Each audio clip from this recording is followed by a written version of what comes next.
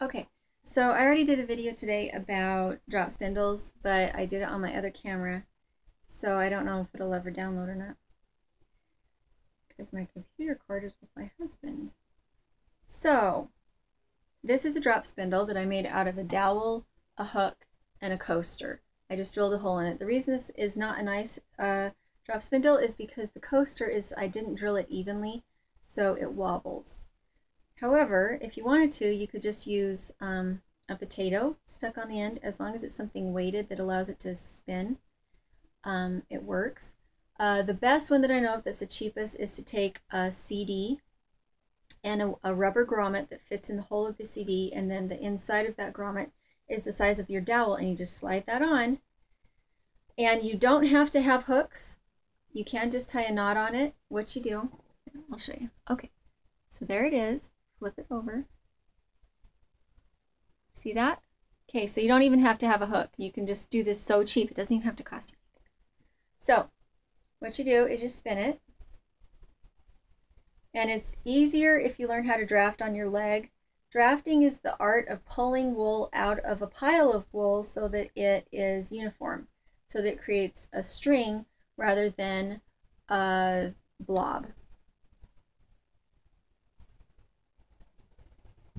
And you'll see that this is not anything but just wonky. This is a drop spindle. I'm going to show you a supported spindle in a minute. You can go out because you decided you didn't want to help me anymore, so go out and shut the door. No, you may talk to me when I'm done with the video. Go on out. If you interrupt me again, I will find you some work to do. Then you slip it off. It's easier to slip it off if there's not a hook there. So if you were doing that knot, you wouldn't have a hook here. So you don't do that knot without the hook. How did I say that? The only reason you do that is if you don't have a hook. If you have a hook, use the hook.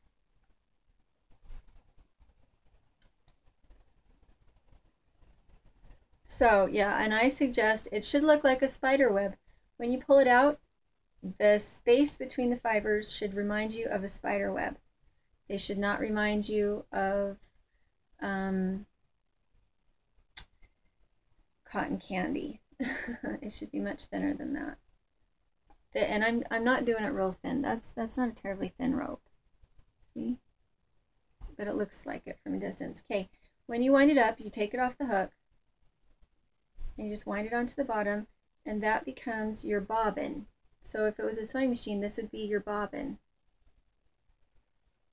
and you don't want to have a whole lot of yarn in your hand when you're doing this because it has a tendency to like hang down and get caught in this. And if you come to the end of it, let it spin. And when you reconnect it, you pull it down and make it overlap. So you can see that. Can see that? I'm going to hold it down some distance on that yarn and let it overlap and it will spin on and you can just smooth it out and I can even pull that part off and you have a new join. A drop spindle is harder than a um, supported spindle because you your string has to be uh, your string has to be heavy enough and well twisted enough to hold the support of the to, to hold the weight of the spindle. But I'm going to show you how it goes eventually.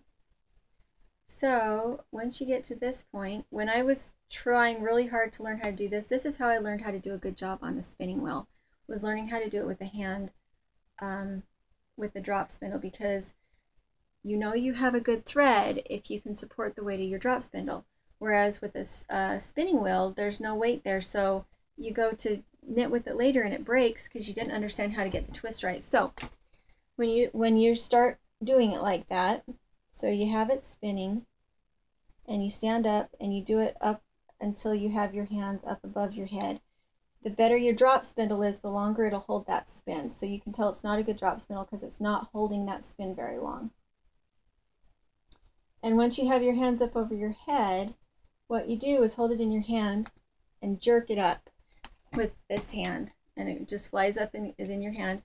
And there's a nice book that's about spindles from a lady that learned how to spin in an Indian community where they make like the Navajo blankets and stuff for their living.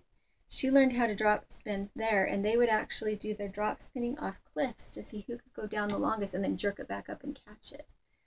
So who who had the longest amount of yarn on their spindle, which I think is really interesting. I think that's fabulous. And it is fun. You can take this outside, and there's old pictures of ladies with drop spindles that were using it for um, linen.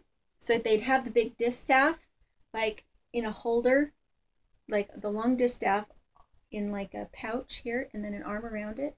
And then they'd be pulling the fiber off and walking around with their drop spindle in their hands, and it's kind of amazing but it, it in this Navajo uh, tribe, the children were the ones who would do the spinning, and the adults, the mothers, were the ones who would do the weaving.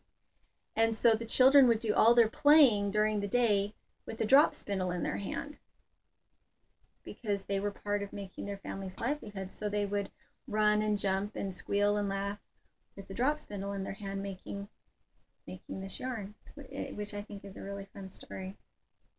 Oh, I was going to show you how to use the drop. The okay, so this is a spindling. This is the base. So sorry, I kind of got distracted in my talking.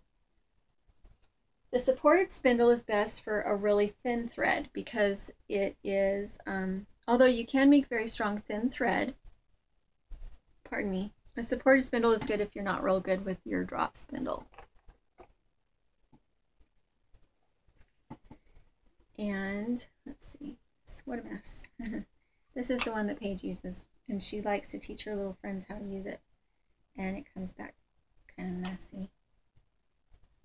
So, okay. So you this is your this is your bobbin. And this just sits in there. And you hold it you hold it between your knees, nice and firm. So where it's a little harder to use a drop spindle like in a car, it's easy to use something like this in a car because it's, um, if you have a long piece, make sure to put it over your arms. They didn't bend it last time they used it. They might have though. I don't really like supported spindles that much. What is wrong with this picture?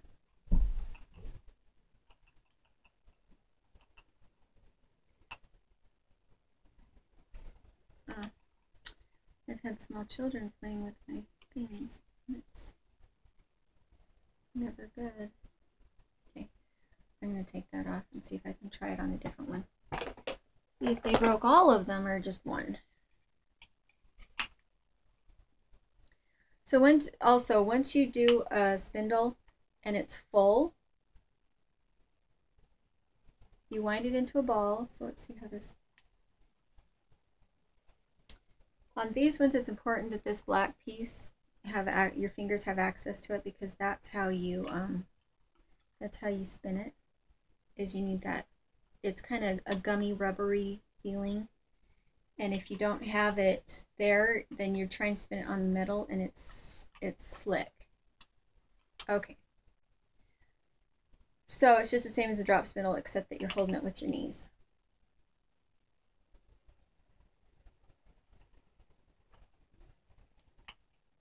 See, there's no drop. So you come down here, wind it on. And because it doesn't have a drop, it means you have less space to spin onto before you have to put it onto the bobbin. And I don't like that. I like to have that nice long drop. Pull out the vegetable matter. But, you know, for little kids to learn how to spin, or if you're trying to figure out how to draft, this isn't a bad way to go but it definitely doesn't tell you how good your yarn is like a drop spindle. A drop spindle just tells you, yeah, that's a strong yarn. I will not break when you drop me. And these ones don't. They don't say that. They just say, well, I held together long enough for you to get me onto the bobbin.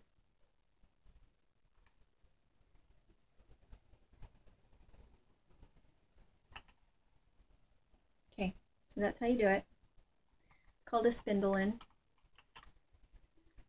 So, um, again, not my absolute favorite.